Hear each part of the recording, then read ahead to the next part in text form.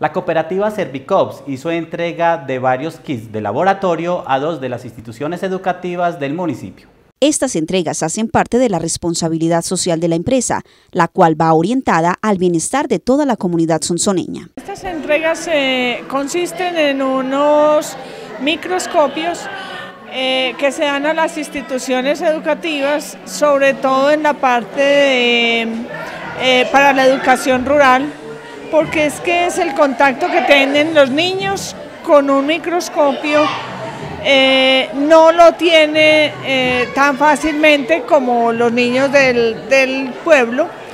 Y la, la idea es que ellos tengan ese contacto y puedan tener esa sensibilidad de lo que es un microscopio. ¿Por qué se da? Se da porque Servicop, las utilidades o ganancias o lo que como nosotros lo llamamos como cooperativa excedentes del 2016, eh, el 20% de esos excedentes se van para la parte de educación. Entonces, de acuerdo a la normatividad, nosotros a través de Confecop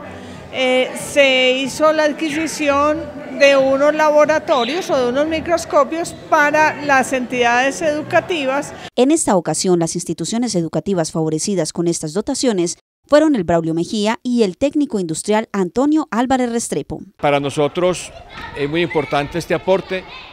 porque hasta ahora ha sido un atranque eh, para el profesor de biología, profesor de química, ha sido un atranque la carencia de un microscopio de calidad como este. En adelante eh, esperamos darle un buen uso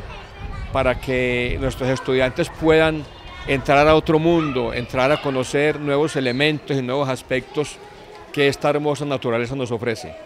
Me parece muy importante que las empresas como Servico se vincule a las instituciones, que es de gran ayuda para nosotros como docentes y nos facilita mucho más el trabajo para que los estudiantes nos puedan entender los conocimientos que nosotros les impartimos a ellos. Con los recursos que el colegio maneja a nivel de gratuidad habría sido imposible acceder a esa dotación en este momento porque habría que programarla de una manera distinta y contar pues como con ellos y en esta vigencia pues no se contaba con ellos.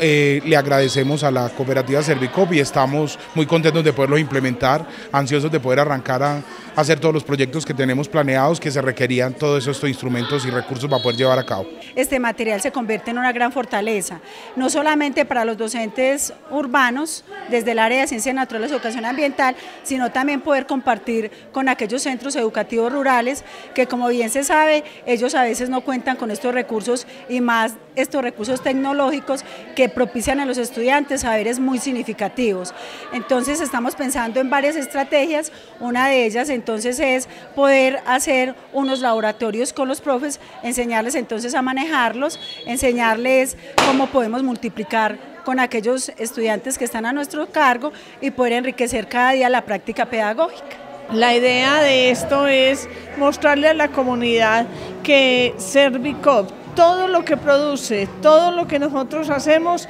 es en beneficio de los sonsoneños, todo lo que Servicop da es en beneficio de todos los sonsoneños,